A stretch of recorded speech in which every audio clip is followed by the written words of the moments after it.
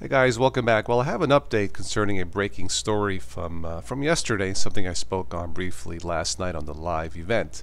But this is in regards to the widespread uh, security uh, update that I thought that was only for Intel processors, but apparently uh, somebody told me that is not the case and it might affect just about everything.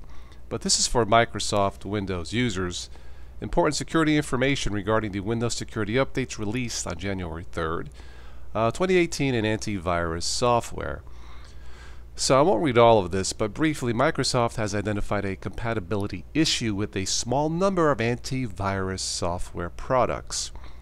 Now, the, the uh, compatibility issue is caused when antivirus applications uh, make unsupported calls into Windows kernel memory.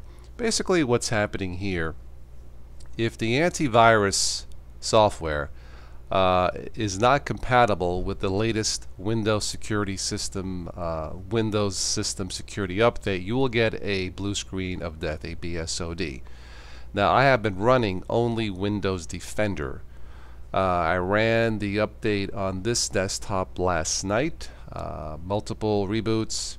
Everything's fine. I did not notice any blue screens. So if you're not sure, whether your antivirus is compatible, I would check the vendor's website. Now it says here Microsoft has been working closely with antivirus software partners to ensure all customers receive the January Windows security updates as soon as possible.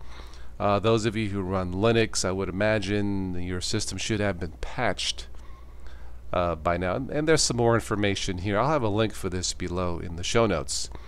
But once again, I would get this taken care of as soon as possible. Uh, the built-in Windows Defender antivirus, I did not have any issues whatsoever.